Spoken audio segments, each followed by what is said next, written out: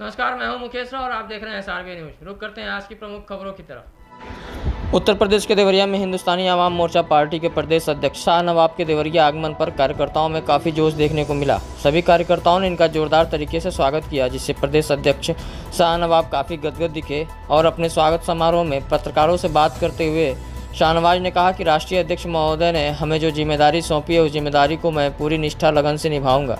मैं अपनी पार्टी के सभी कार्यकर्ताओं को धन्यवाद देता हूँ। कि आपने मुझ पर विश्वास जताया। मैं आप सभी को विश्वास दिलाता हूँ कि आपके मान सम्मान की रक्षा के लिए सदैव तत्पर रहूँगा। आपको आवाम पार्टी ने उत्तर प्रदेश का अध्यक्ष चुना है। आप कैसा महसूस कर रहे हैं और आप इस ज़िम्मेदारी को कैसे निभाएँगे? बड़े अच्छे देखू बड़े अच्छे तरीके से मैं इसको निभाएँगे और हर गरीब हर जनता के पास जा जाके मैं मिलेंगे और सबके दुख सुख में मैं हाजिर होंगे और सबसे सबकी समस्या को मैं हल करूँगा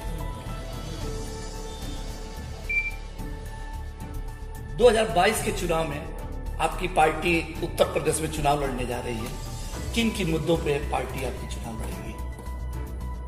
उत्तर प्रदेश में हमारी पार्टी जो है गरीबों की असहाय की बेरोजगार लोगों की और गाँव के तमाम समस्याओं को देखते हुए ये पार्टी इसमें ज़्यादा ज़्यादा मेहनत करेगी इसके लिए सहयोग करेगी।